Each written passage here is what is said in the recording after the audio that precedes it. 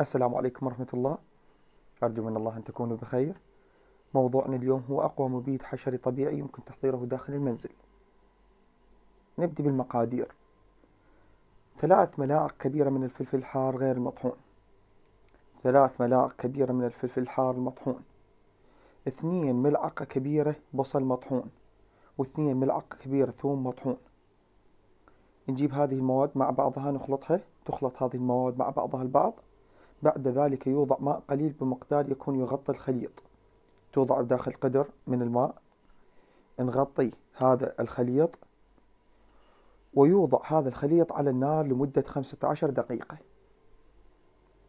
بعد ذلك يصفى الخليط عن طريق قطعة قماش أو عن طريق خلينا نقول ممكن مصفي لتصفية الخليط من الشوائب لاستخراج السائل من الخليط. نستخرج فقط السائل من هذا الخليط اللي خلطناه من هاي المواد.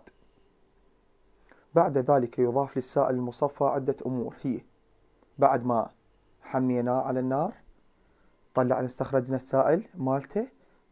بعد ما استخرجنا السائل راح نضيف هذه الأمور. ثلاث ملاعق كبيرة من زيت النيم حيث يمكن الحصول عليه من العطار. عند أي عطار قل له أريد زيت النيم.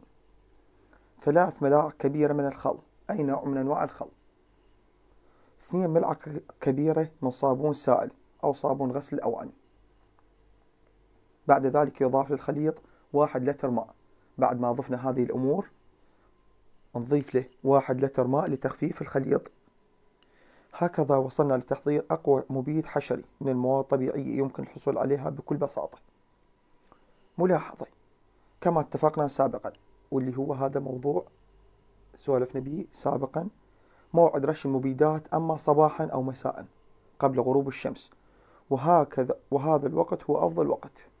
المساء بعد غروب الشمس هذا أفضل وقت لرش المبيدات للنباتات. ملاحظة ثانية. يمكن تكرار رش المبيد كل أسبوع لحين اختفاء الحشرات. كذلك يمكن زيادة كمية المبيد بمضاعفة الكمية لكل مادة. يمكننا زيادة المبيد بمضاعفة كل المواد.